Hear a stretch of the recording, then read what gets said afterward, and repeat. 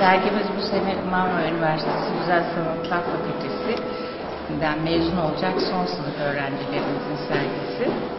Ee, sergilerin adını Nereye Gidiyoruz koydular. Ve e, yaşadıkları ortama, çevreye, e, topluma e, ve dünyaya göz atmak istediler.